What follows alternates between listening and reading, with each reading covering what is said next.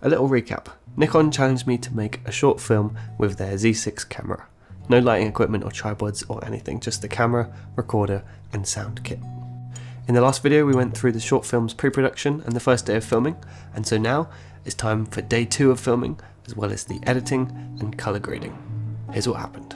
So we arrived for our second and final day of filming, and the first task is setting up the kitchen to match the photos we took on the previous day.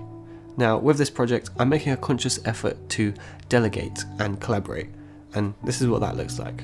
Mari, the first AD, has my shot list, and so we're talking about which shot we're filming next and whether to cut or add certain shots for each scene. Plus, she's familiar enough with the overall shoot to be able to answer lots of the crew's questions. See, I've realised that you spend a lot of time as a director answering questions anyway, so any help is definitely welcome so I can focus my time and energy on answering the actors' questions instead. For example, since the beginning of the shoot, I've hardly spoken to Jamie, our clapper, because he always goes to Mari to ask her which shot is next, and by the time we're ready to roll, he's right there with the slate and ready.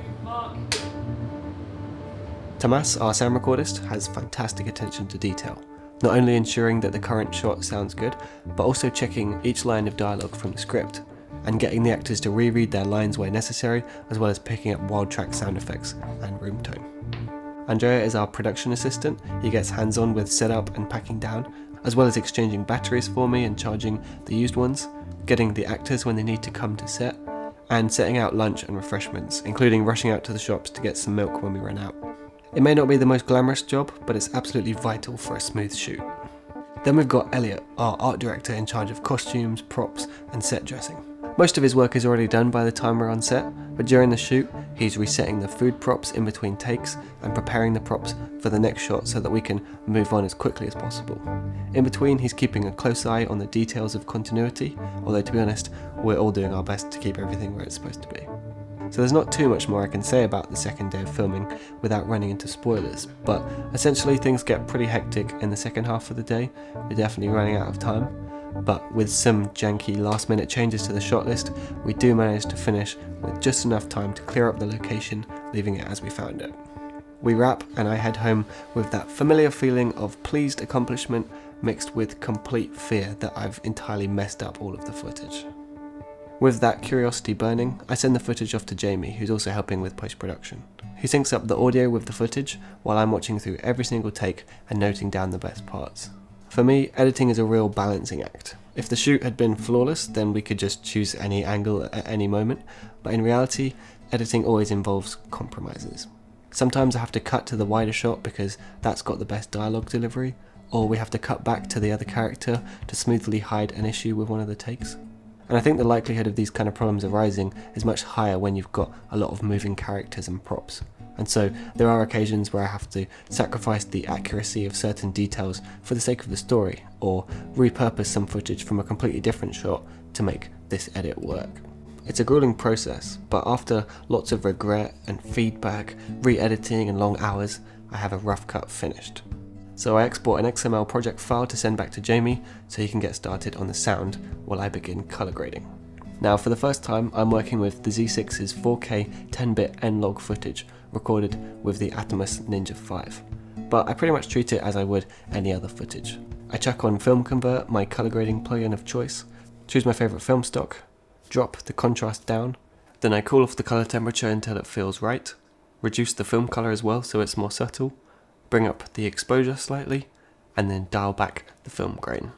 From here I head into the main color tab to add some contrast, paying attention to the scopes so I don't lose detail. This looks too colourful for my short that's supposed to be more realistic than stylised. So I'm going to back off the saturation from the highs and mids more so than the shadows, which is a trick that I learned from recreating the colour of real film stocks. I then crop into just the skin tone and looking at my scopes that shows me that I need to add just a little bit of green so that it's sitting on that skin tone line. And then that gives me my base grade, which I can then copy over to the next shot and start adjusting for any lighting changes.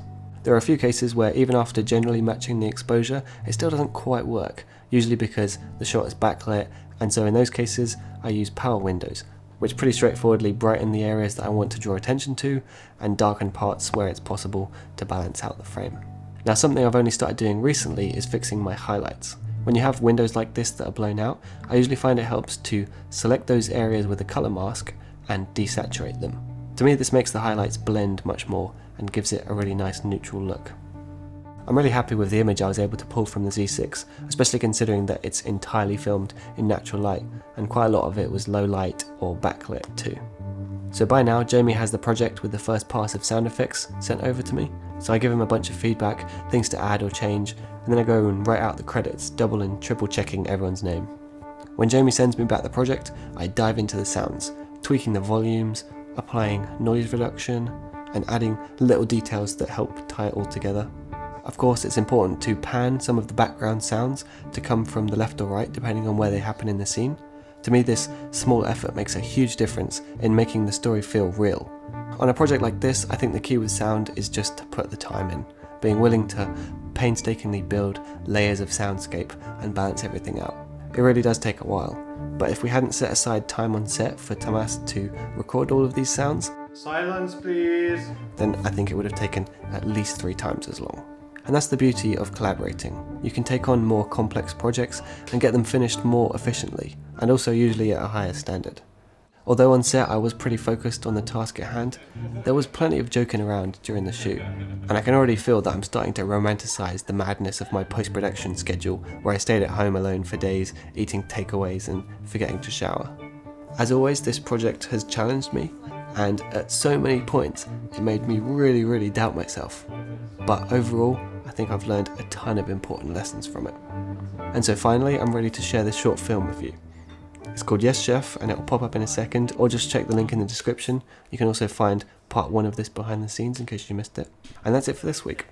I'm going to go and finish my next project, but first, I think I'm going to have a nice long sleep. See you next week.